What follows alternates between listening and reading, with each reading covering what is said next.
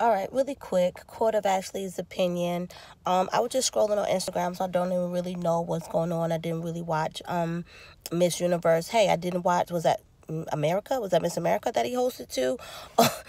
Why everybody always trying to get up? Y'all always trying to get on Uncle Steve, and I never know why. Get off of Uncle Steve, please.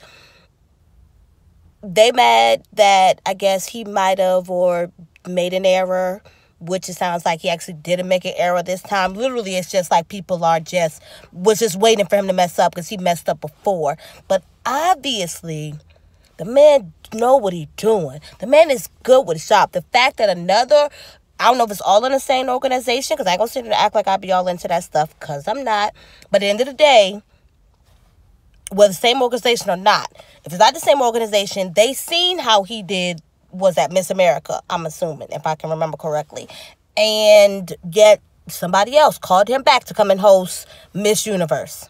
So while y'all mad because oh he made an error or why did he address this this way? Why is he talking about Miss Malaysia? Miss Malaysia made the mistake or he should be mad at the Miss Universe organization, whatever, whatever, whatever. End of the day, the man getting the bag.